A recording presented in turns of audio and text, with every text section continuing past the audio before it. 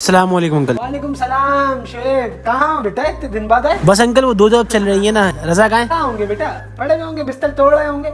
Job करनी नहीं है। कारोबार के लिए हमारे पास पैसे नहीं है। हम ही घिसे जा रहे हैं अपने आप को। दो दो जॉबें कर रहे हैं। घुटने जोड़ों में इतना दर्द रहता है। तुम्हारे अब्बा से बात करी थी। उनको बताया मैंने ऐठन होती है बहुत ज़्यादा। उन्होंने मुझे बताया वही तो पार्सल लेने गया था। वो एमपीसी हेल्थ की ना अर्थ्रोमैक्स दवा के बारे में उन्होंने मुझे बताया। ये अभी पार्सल आया तो वो लेकर आ रहा हूँ। चल मैं मिलता हूँ। नदीम भाई आए हैं क्या? जी। कैसे आना हुआ भाई? कुछ सामान लेने आया हुआ था वो बच्चा अच्छा, अच्छा, जर्मनी अच्छा। जा रहा है ना। माशाल्लाह माशाल्लाह अल्लाह उसको तरक्की दे और मेरी दुआएँ हैं। आमीन। हमारे साहबजादे हैं रजा। छोटा हाँ, वाला। छोटे वाले। इनसे जर्मनी तो छोड़ो कराची में भी नहीं कमाया जा रहा। अरे कमा लेगा। जब तक हम काम कर रहे हैं कर रहे हैं अब तो यकीन जानो इतना हो गया घुटनों ने जवाब दे दिया। वो तो ये है ऑर्थोमैक्स ये बड़े बूढ़ों का सहारा। इसको खाते हैं तो चलने फिरने उठने बैठने में आसानी हो जाती है। तो बस जिसके सहारे ही चल रहे हैं यही बन गई है सहारा।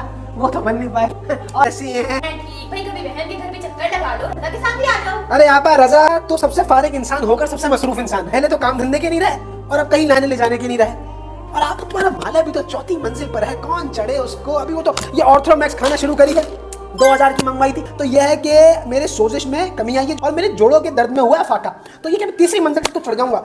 चौथी में तुम्हें मुझ पे उठा के लेके जाना पड़ेगा। आ